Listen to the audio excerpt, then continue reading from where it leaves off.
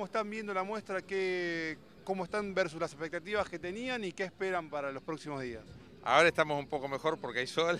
La verdad que el día arrancó un poco destemplado, con una neblina, con mucho frío, pero la gente por suerte nos ha acompañado masivamente. El día de ayer fue lo esperable, el día inaugural siempre es un poco más frío, más institucional que otra cosa. Hoy arrancamos muy bien, con mucha presencia de, productores, mucho público específico, más allá de la masividad del público.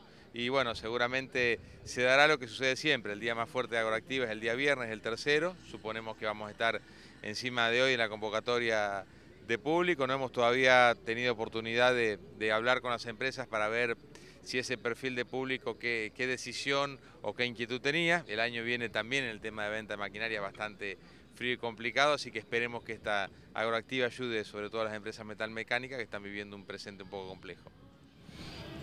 Hoy la muestra, o sea, la muestra cumple 20 años, una muestra ya muy arraigada en todo lo que es Santa Fe. Nos encontramos con muchos chicos, mucha secundaria, muchos colegios técnicos. Hoy, este, y aparte no solo que vienen a visitarla, sino que vienen a aprender. ¿Cómo, crees que, que va a seguir esto de acá para adelante? ¿Cómo parte de la educación o parte del acercar el campo a la ciudad. Sí, eh, a nosotros nos complace que tantas escuelas nos elijan, escuelas que encima ni siquiera son de la zona.